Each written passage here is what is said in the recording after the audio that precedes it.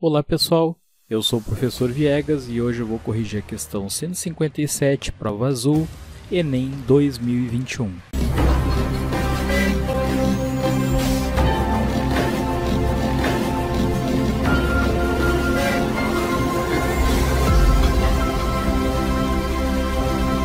Uma construtora pretendendo investir na construção de imóveis em uma metrópole com cinco grandes regiões fez uma pesquisa sobre a quantidade de famílias que mudaram de uma região para outra, de modo a determinar qual região foi o destino do maior fluxo de famílias, sem levar em consideração o número de famílias que deixaram a região.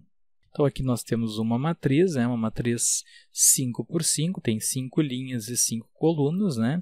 E aí está perguntando qual região foi selecionada para o investimento dessa construtora, aqui tendo as opções letra A de 1 até 5 na letra E. Bom, pelo enunciado, cada elemento A e J, né, lembrando que o I representa o número de linhas e o J o número da coluna, em que I indica a posição da linha, J a coluna da matriz A, representa o total de famílias. Né? Então, a, a posição da coluna da matriz A vai representar o total de famílias em dezena que se mudaram da região I para a região J. Então, para saber qual das regiões que recebeu mais famílias, é necessário somar os elementos de cada coluna da matriz, conforme nós vamos indicar a seguir.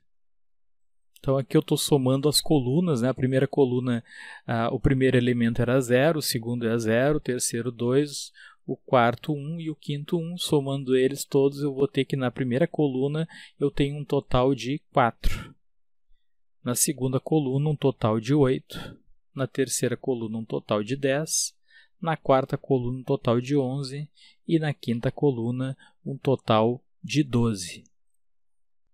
Então, como o investimento será feito na região que mais recebeu, lembrando que as regiões são representadas, conforme anunciado, pelas colunas, né, que recebeu mais famílias, a construtora então vai selecionar a região 5, que é a que deu o maior valor, ou seja, 12.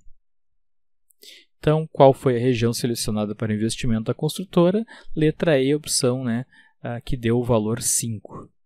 Região 5. Se você gostou desse vídeo, não deixe de curtir e se inscrever no canal do Professor Viegas.